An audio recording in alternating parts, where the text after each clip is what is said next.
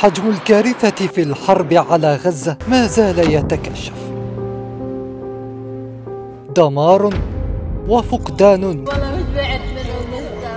ومجاعة هي الأسوأ في عصرنا الحديث هذا. وكالة الأونروا التابعة للأمم المتحدة تكشف في تقرير جديد أن نحو 17 ألف طفل في القطاع أصبحوا يتامى. وأن طفلا واحدا من بين كل ستة أطفال تحت عمر العامين أصبح يعاني من سوء التغذية.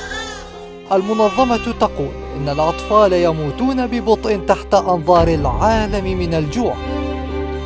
إضافة إلى أولئك الذين تقتلهم القنابل الإسرائيلية.